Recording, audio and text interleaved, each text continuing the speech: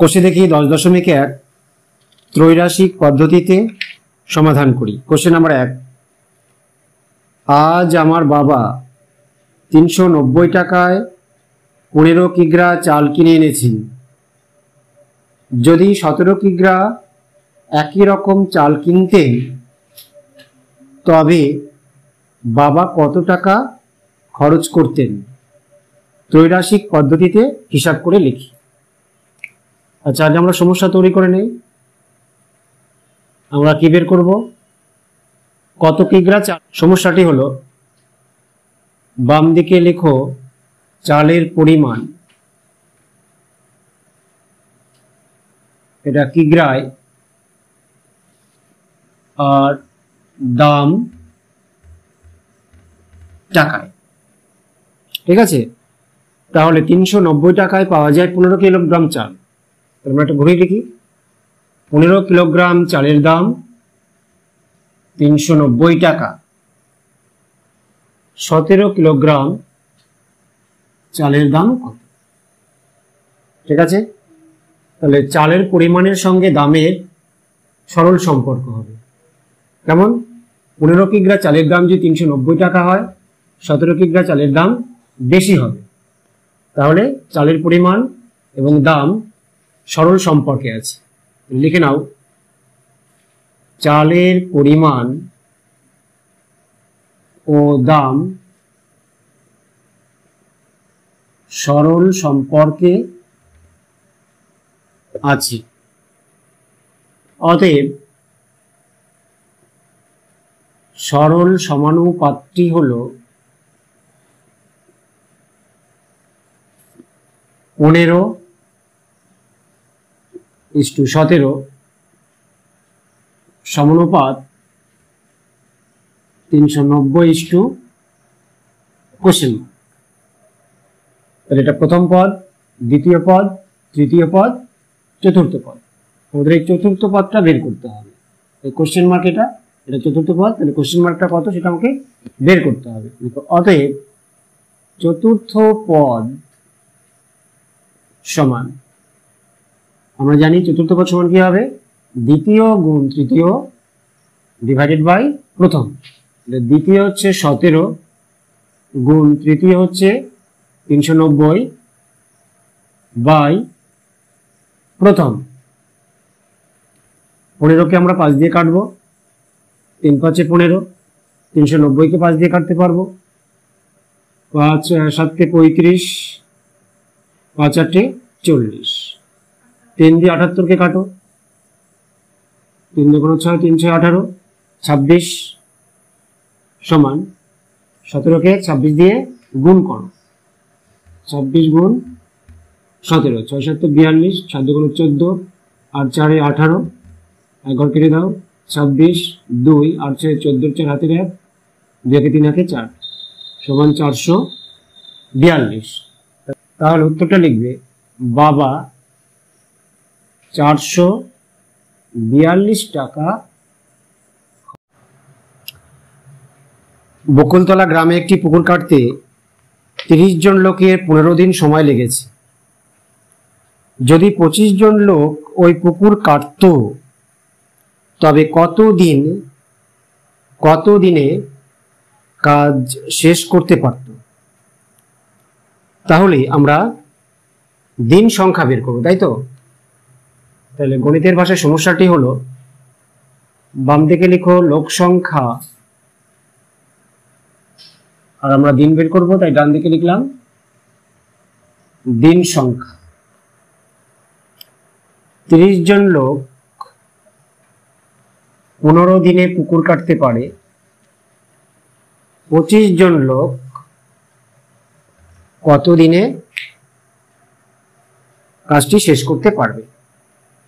তাহলে লোক সংখ্যা যদি বেশি হয়, তাহলে দিন সংখ্যা কমে যাবে। অর্থাৎ কোনো কাজ করার সময় যদি লোক সংখ্যা বেড়ে যায়, তাহলে দিন সংখ্যা কমে যায়। আবার ওই কাজটি যদি আমরা কম লোকে করি, তাহলে কাজটি করতে বেশি দিন লাগবে। তাহলে লোক সংখ্যার সঙ্গে দিন সংখ্যার ব্যস্ত সম্পর্ক। তাহলে লোক সংখ্যার সঙ্গে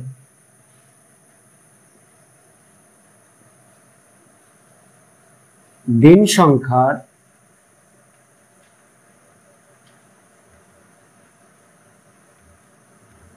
ব্যস্ত সম্পর্ক। ব্যস্ত সম্পর্ক যদি হয়, তাহলে পঁচিশটা আগে লিখি। সমানুপাত্র কি হবে? আগে পঁচিশ লিখব। ইস টু তিরিশ সমানুপাত পনেরো ইস টু ঠিক আছে? অতএব চতুর্থ পদ সমান দ্বিতীয় গুণ তৃতীয়, তিরিশ গুণ পনেরো ডিভাইডেড বাই প্রথম পদ, পঁচিশ। পাঁচ দিয়ে কাটি, তিন পাঁচে পনেরো, পাঁচ পাঁচে পঁচিশ, পাঁচ কাটি তিরিশ কাটি, পাঁচ ছয় তিরিশ সমান তিনশো আঠারো। তাহলে আমরা উত্তরটা লিখতে পারি কি পঁচিশ জন লোক ওই পুকুর যদি পঁচিশ জন লোক ওই পুকুর কাটতো, তবে আঠারো দিনে কাজ শেষ করতে পারত। যদি পঁচিশ জন লোক পুকুরটি কাটত, তাহলে আঠারো দিনে কাজটি শেষ করতে পারত। কোশ্চেন নাম্বার ফাইভ মঙ্গলপুর গ্রামের একটি আশ্রয় শিবিরে চার হাজার জন লোকের নয় দিনের খাবার মজুদ ছিল। তিন দিন পরে এক হাজার জন লোক অন্য জায়গায় চলে গেলেন। যারা রয়ে গেলেন, অবশিষ্ট খাবারে তাদের আর কতদিন চলবে? সমস্যাটা আগে তৈরি করে নেই। বাম দিকে লেখো, লোক সংখ্যা ডান দিকে লিখবে দিন সংখ্যা। চার হাজার জন লোকের নয় দিনের খাবার মজুদ ছিল। কিন্তু তিন দিন পর এক হাজার জন লোক চলে গেল। মানে আরও তারা ছয় দিন খেতে পারত। এই চার হাজার জন লোক তিন দিন খেয়েছে তেমন আরও ছয় দিন তারা ওই খাবারে খেতে পারত।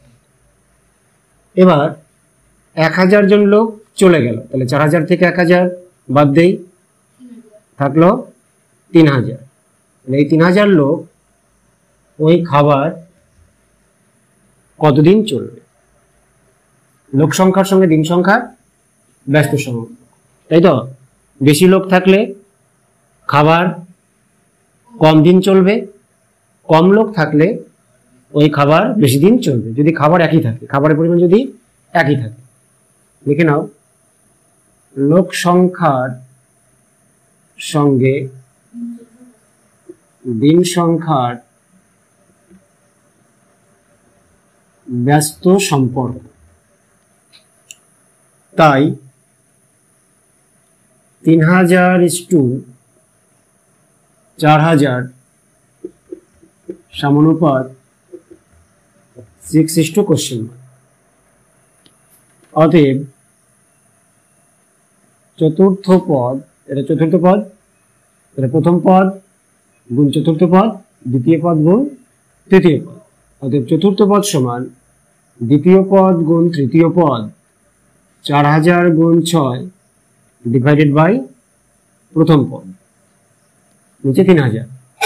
শূন্য শূন্য শূন্য, তিনটা শূন্য, উপর নিচে তিনটে শূন্য কেটে দিলাম।